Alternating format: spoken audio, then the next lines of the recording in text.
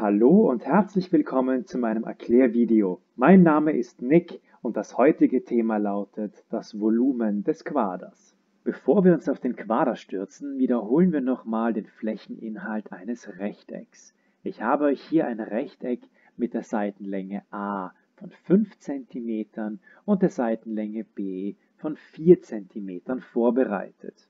Die schlauen Köpfe haben vielleicht bereits im Kopf gerechnet, dass der Flächeninhalt dieses Rechtecks 20 Quadratzentimeter betragen muss.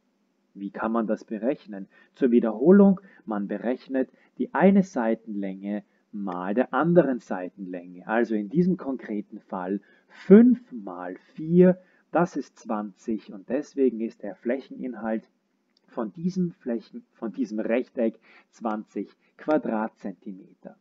Was war da eigentlich die Idee dahinter? Warum darf man das einfach so multiplizieren? Die Idee ist, dass wir diese Fläche mit Einheitsquadraten bedecken. Zur Wiederholung, Einheitsquadrate, das sind Quadrate mit einer Seitenlänge von einem Zentimeter. Und wir schauen jetzt, wie viele von diesen Quadraten in diese Fläche passen. Zuerst also untersuchen wir, wie viele in die Länge passen, also wie viele Quadrate kann ich hier in die Länge hineingeben.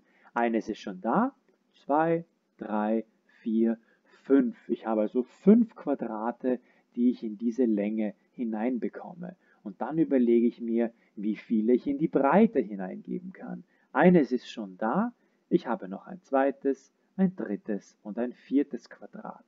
So, und jetzt kann man natürlich abzählen. 1, 2, 3, 4, 5. Nein, es würde viel zu lange dauern, die alle abzuzählen. Stattdessen multiplizieren wir einfach, wenn hier 5 Quadrate sind und hier 4 Quadrate sind, dann müssen das hier 20 Quadrate sein. Und deswegen kann man sagen, der Flächeninhalt von diesem Rechteck beträgt 20 Quadratzentimeter. Ja, das war jetzt alles nur eine Wiederholung, das wissen wir doch alles längst.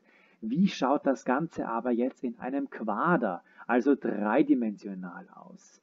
Ich habe bereits verraten, wir werden uns in einen dreidimensionalen Raum begeben. Das heißt, wir haben jetzt keine Fläche vor uns, sondern unser Quader ist ein dreidimensionales Objekt. Wir einigen uns darauf, sichtbare Kanten werden durchgezogen und verborgene Kanten, die sind strichliert. Warum ist jetzt aber die auch strichliert? Weil hier noch ein Deckel drauf ist und den geben wir jetzt einfach mal weg. Wir überlegen uns also jetzt, wie viele Einheitswürfel passen jetzt in diese Box hinein. Warum habe ich jetzt Würfel und keine Einheitsquadrate? Naja, nachdem unsere Box dreidimensional ist, braucht natürlich auch ein dreidimensionales Objekt das wir hier hineingeben. Unser Einheitswürfel hat noch immer eine Kantenlänge von einem Zentimeter.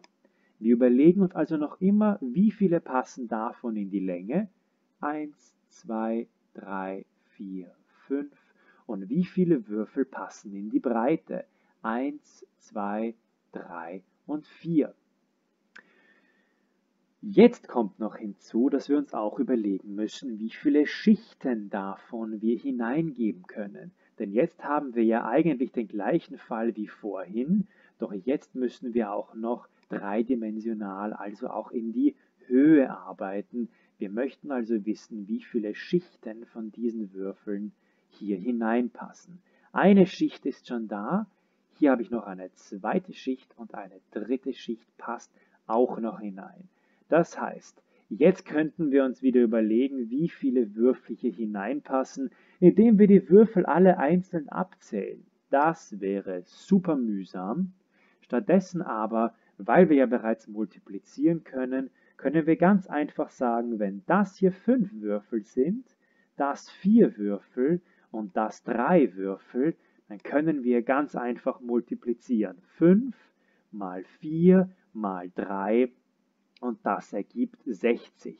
Also man kann auch sagen, wir berechnen die Länge mal der Breite mal der Höhe und erhalten so das Volumen des Quaders. Dieser Quader, diese Box, hat also ein Volumen von 60 Kubikzentimetern. Bitte aufpassen bei den Einheiten. Hier wäre es falsch zu sagen 60 Quadratzentimeter. Wir müssen hier auf jeden Fall Kubikzentimeter sagen, da wir hier natürlich eine Volumeneinheit haben, weil wir ja auch hier im dreidimensionalen Raum sind. So viel zur Einführung des Volumens eines Quaders.